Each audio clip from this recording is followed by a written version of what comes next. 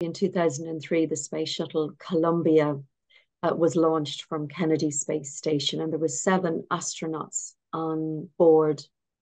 And um, as many of your listeners may have seen on TV or maybe even in person, I don't know anyone who's ever seen a shuttle launch in person, but certainly when I've watched it on TV, when a shuttle is is launching, it's kind of released.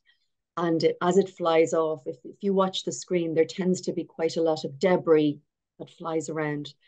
So for this particular shuttle launch, um, the shuttle was released, the debris flew around. That that's very normal. That happens all of the time. Um, they call that a foam strike when the debris hits off the shuttle, but normally there's no damage.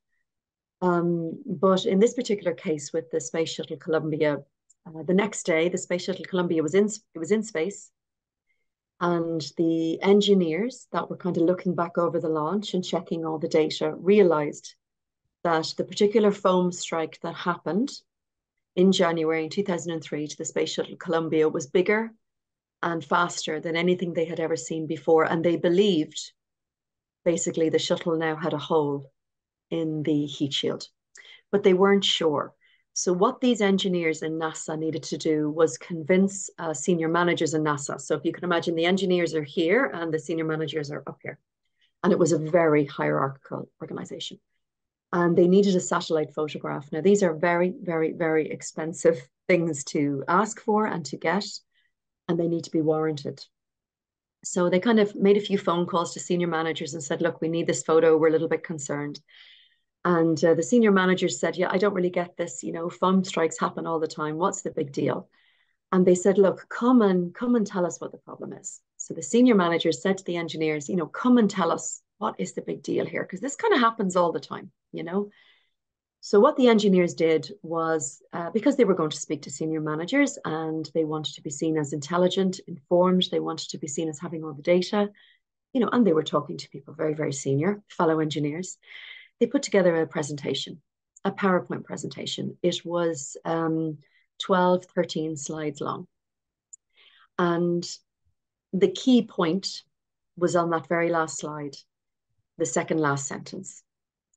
So they basically spent kind of 11 and a half slides, um, what I would call qualifying before they state. So they talked about foam strikes that had happened in the past, and they talked about foam strikes that hadn't happened, and they talked about the danger of foam strikes. And then in the very last slide, in the second last line, they basically said, in engineering terms, uh, this foam strike is unlike anything we've ever seen. But no, they didn't say that. I'm saying that to you so you understand. They, they didn't say it that clearly. But again, these were engineers talking to other engineers. There was an assumption. And that's a, that's a big word. And that's quite important, you know, to, to sort of take on board. There was an assumption. They will get this. So this presentation was all about trying to get a photograph, a satellite photograph. The senior managers watched the presentation. They took it away. They read it possibly. And they came back and they said, no, uh, it's not warranted. We don't need it. It's no big deal. This happens all the time. Everything's fine. And a couple of days later, the Space Shuttle Columbia disintegrated as it was re entering the Earth's atmosphere. What they later discovered was the foam strike, the piece of debris that hit the shuttle, was the size of a suitcase. And it did cause a six to 10 inch hole in the heat shield of the shuttle, as the engineers had suspected.